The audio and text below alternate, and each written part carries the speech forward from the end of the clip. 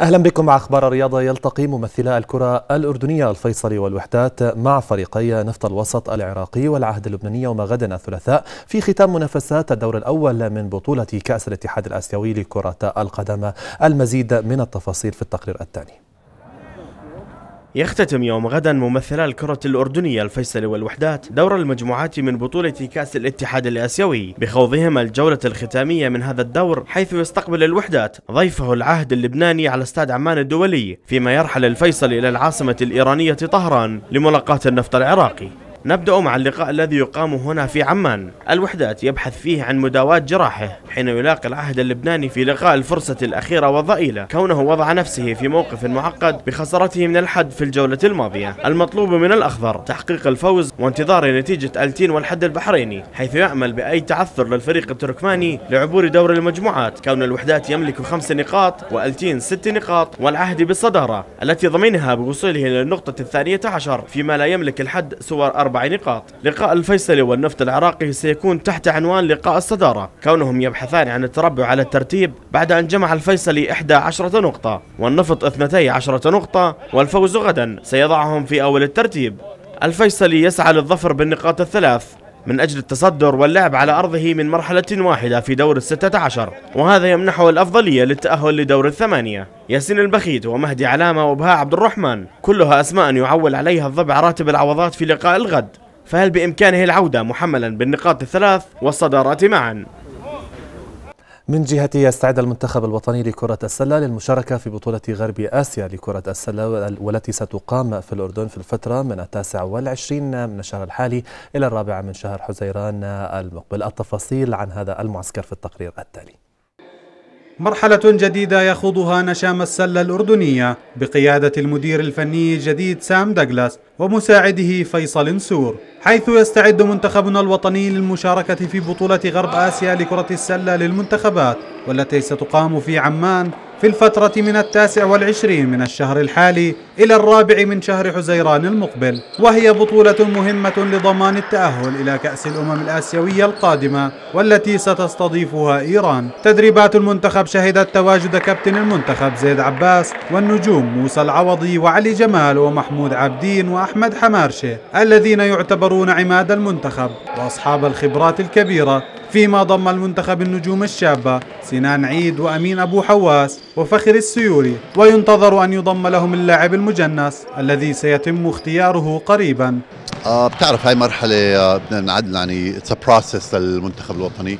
وأنا يعني مبسوط إنه I took هاي ال step لأنه بدي أحسن الكرة السلة عندنا ال basketball شوية بآخر سنتين بدك تقول بآخر ثلاث سنين عمالها بتنزل كثير فهاي كانت من ال step اللي أنا عشان هيك دخلت بهاي ال position لأنه حاسس أنا بقدر آه، بدك تقول أعمل زي splash أغير ال الاتجاه المنتخب العمال واللي هي الكره السلة الأردنية عمالها بتيجي فمع إن شاء الله مع ال support من الاتحاد we're I think we're on the right track إن شاء الله. يعني هلأ في أسماء وجربنا كم من أمريكي بس لحد الآن لسه ما نقينا الاسم مين هو اللاعب راح يكون.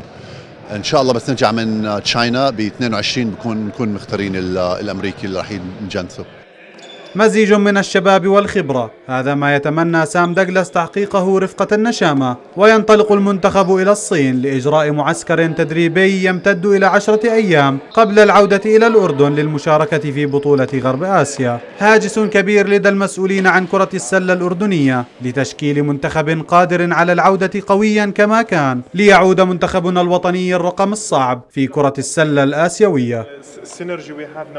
كل التوفيق للمنتخب الوطني لكرة السلة من جهته حقق فريق الجامعة الأردنية فوزا كبيرا على فريق الجامعة التطبيقية في المباراة النهائية لبطولة الجامعات بكرة السلة ليحقق لقب البطولة. وانتهى اللقاء بنتيجة 67 نقطة مقابل 46 في اللقاء الذي جمعهما في الصالة الرياضية لجامعة العلوم التطبيقية. وفي ختام الدورة الجامعية تسلمت الجامعة الأردنية كأس المركز الأول لحصولها على أعلى عدد من الميداليات والكؤوس خلال الدورة الرياضية. الرياضية للجامعات الأردنية.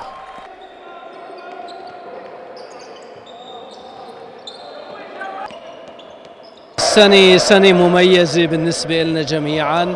نحتفل بمئوية الثورة العربية الكبرى وكانت هاي الدورة خصيصا احتفالية بالمئوية.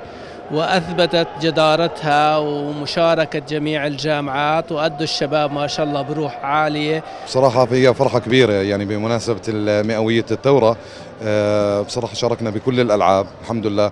ربنا أكرمنا بعشر كؤوس في هذه الدورة.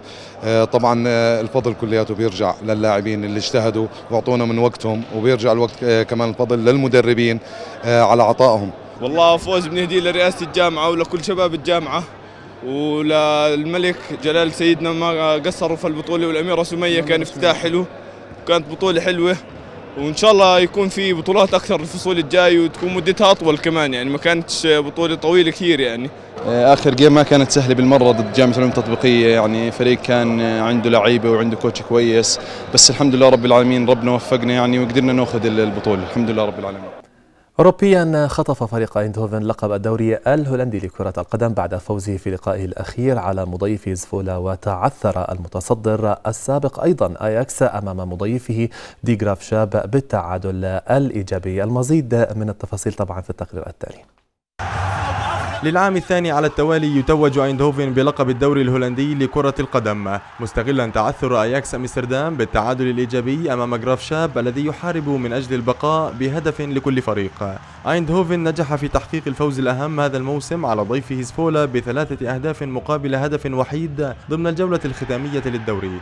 وافتتح يورجن التسجيل لأيندهوفن في الدقيقة الرابعة والثلاثين قبل أن يضيف ديونغ الهدف الثاني قبل نهاية الشوط الأول. وقلص أوسين بوي النتيجة لسبولا في الدقيقة السادسة والستين إلا أن دي يونغ لم يتأخر بتسجيله الهدف الثاني له والثالث لفريقه. ليتوج بي إس في أيندهوفن بلقب سيبقى طويلا في ذاكرة جماهيره فيما تلقى أياكس أمستردام درسا كبيرا بعد أن فرط في اللقب في اللحظات الأخيرة من البطولة.